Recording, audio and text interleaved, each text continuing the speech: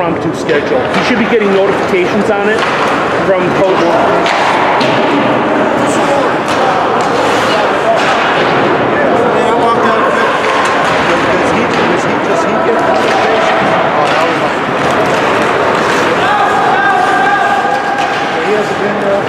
We've had two and he hasn't been